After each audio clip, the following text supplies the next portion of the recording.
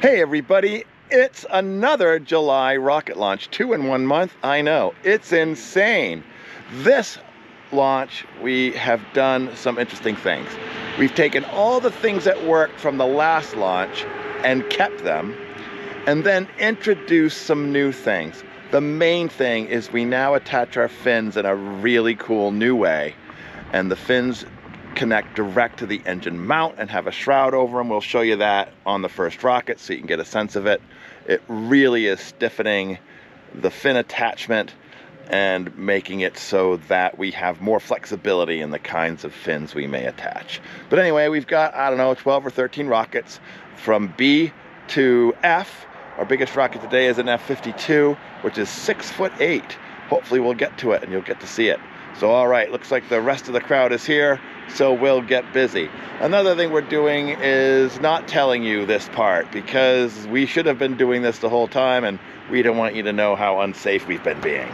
Here we have our first rocket of the day. It's a B-30-320, like our scientific naming from last time.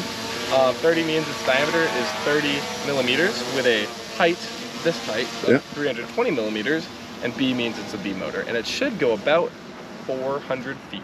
Let's try it out. Uh, all right, and go. Three, two, one.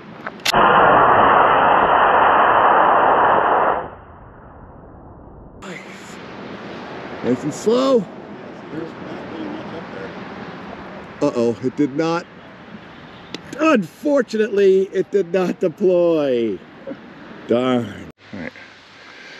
Hey everybody, so we're just gonna show you windsock, which will have a C-18 in it but we want to talk about the way the fins are connected. You can see now the fins are connected to the inside engine tube with slots and then secured with this housing which acts as an airframe through these slots here. Um, and that will allow us to use you know different size fins on the rocket. It will also mean um, we can replace broken fins easier and we can have more than one set of fins. All right, let's exactly. pop that on. Go. Three, two, one.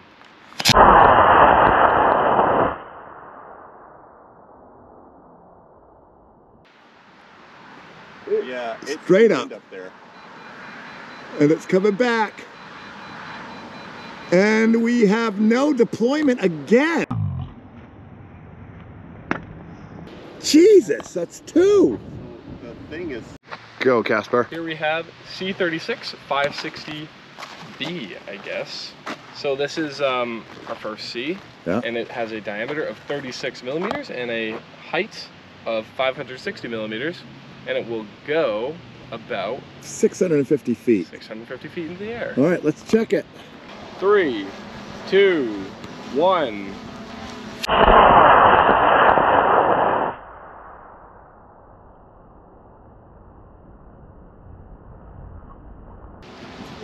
I got really close to the drone.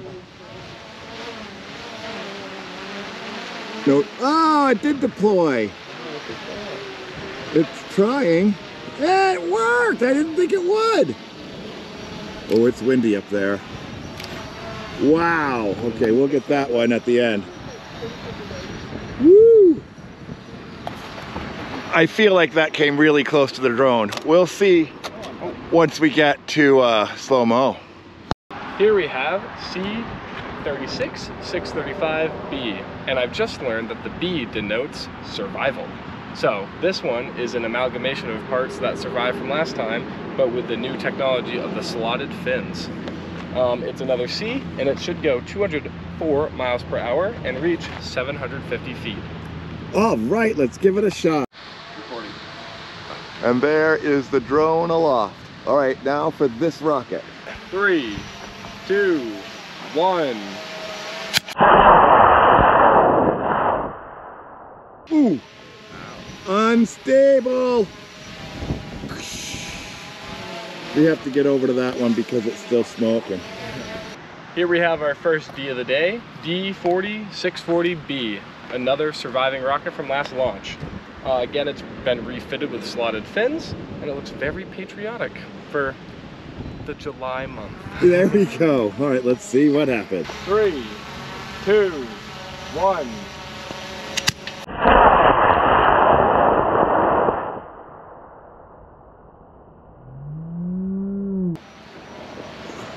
Nice. And it's deployed perfectly. Or it separated? Why would it separate? Interesting. We have separation. Hi. And the body is in the field. And I've lost the nose. Tree. All right, well, we got the body back. Here we have D40 1050B. Another D, very small fins, and it's also our first rocket above a meter tall for the day. We should see lots of much taller rockets towards the end of the day, however. Mm. This one should go pretty high because it's pretty light and it has a pretty powerful motor. Right, I'm thinking, ooh, I forgot how big, and it's 750, I think, is safe. Three, two, one.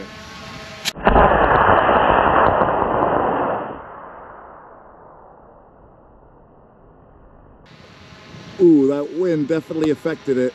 Wow. And it did not, did it deploy? Yes, it did. But the chute hasn't come out, which is probably a blessing today because of the wind. Even then, I think it's gonna be lucky if we get it back. Ah, maybe it's on the edge. Might be behind the trees though. Yeah, oh, dude. Good. Okay, here we have D50 615B, another survivor. Notice has a slightly larger diameter than the other B- Bs by about 10 millimeters, hmm um, and it's a little shorter at only 615 with its height. So um, this one's probably heavier. Probably won't go as high as the other one, so maybe 600 feet or so. If the last Yeah. one went 750. Um, so let's see what happens. Let's see. It's getting pretty windy, isn't it? Quite. Three, two, one.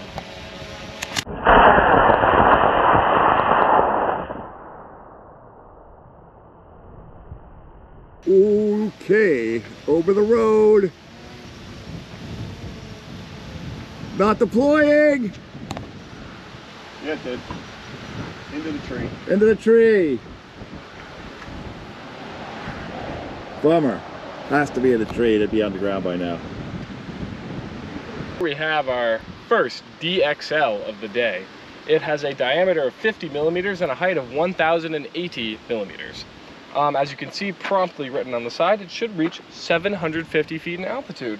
It's also a surviving rocket. I don't know if I mentioned the B in its name. Yeah. So it once again has slotted fins, just like the other ones. Let's see if this. It's very windy, so we're. It's affecting our stability. Let's see how it goes. is. Three, two, one.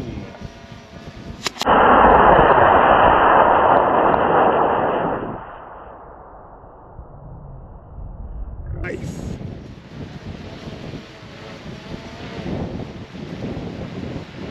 Oh yeah. Uh oh. That one was perfectly deployed, and I'm sure it will be in the pit. Camera's got it. It's almost too pretty for a launch. Oh man. Bye. Oh gee.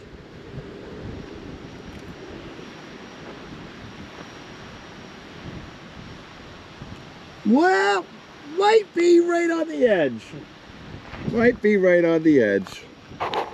Go. Yes, here's another DXL for the day. It is 1.9 meters tall, which is about as tall as I am, and it's 40 millimeters wide. All right, let's see how she goes. Three, two, one.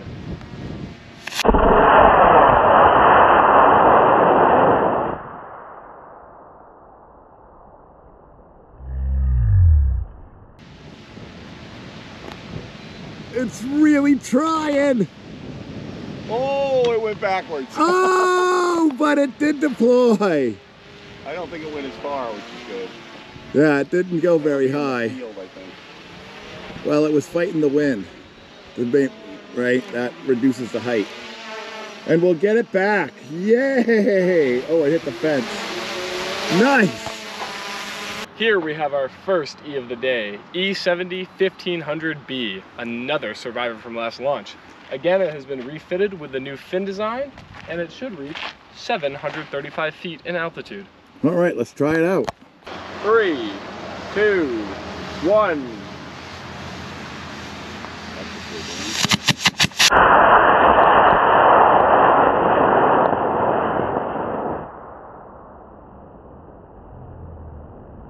Really nice.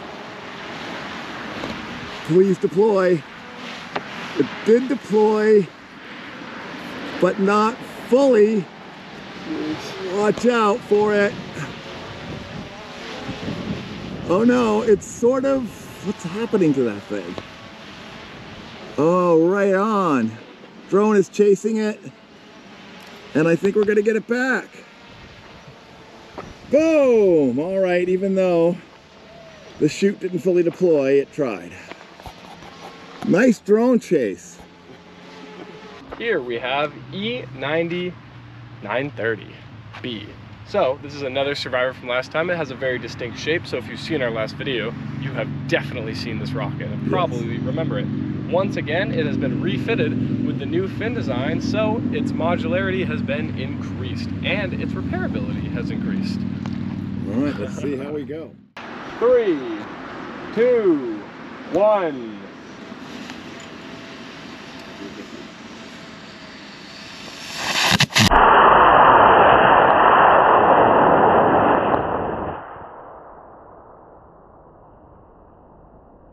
Really good.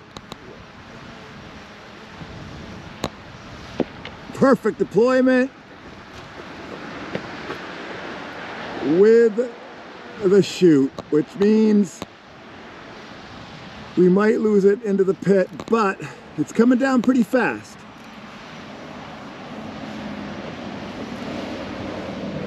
Wow. Come on down. Yes, we'll get it. Oh, good. Here we have E EXT 60 1385B, another survivor from last launch that has been refitted with the new modular fin system. So uh, we'll see what happens with this one, but I, I hope it goes up and I hope it comes down. All right, we think it's going to be about a thousand feet. Let's see what happens.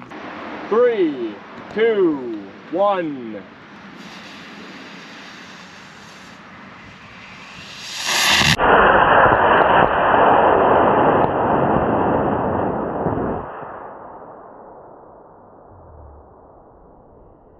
Wow.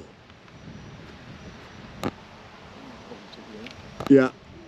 If we get that one back, it'll be a miracle. Though it has deployed. Definitely 1,200 feet. And I think that's 50-50 right now. And it's just gone to 0% chance of seeing that one again. Which is too bad because it's got a nice parachute. Yep. In to the pit. We might be able to get it if we drive in there. I think the pit wraps around. All right. Here we have Musala. This rocket is six foot eight or 80 inches tall. It will reach 1,100 feet and it can reach 200 miles per hour. Some fun trivia about this rocket is at the top speed, the tip of the rocket produces 1 million pascals of force. Wow. Three, two, one.